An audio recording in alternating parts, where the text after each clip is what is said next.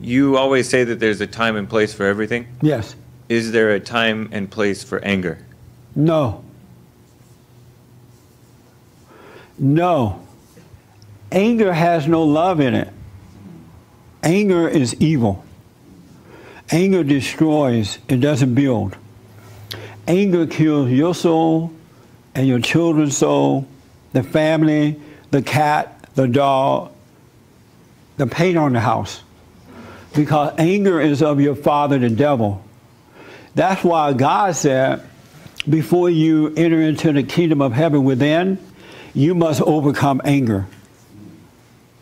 And he didn't say overcome anger, but he said forgive. And what he's talking about, you got to overcome that because you're not going to be allowed to enter into the kingdom of heaven with the nature of Satan.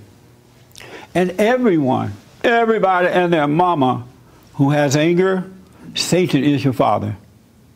And I don't care if it's a little bit, because some people say, well, I just got a little bit. But Satan is your father, and you can never, uh, even though you might read the Bible, you might go to church, you might lift up holy hands, pay tithes and offerings, and all that stuff, Satan is still your father. That's why you must be born again. You must return to your original station, uh, nature before you fell away, before you start to resent. And most of the time, it's your parents that you resent. And you become like them because you become like whomever you resent. So, no, there's never a time from anger for anger unless you're in that fallen state.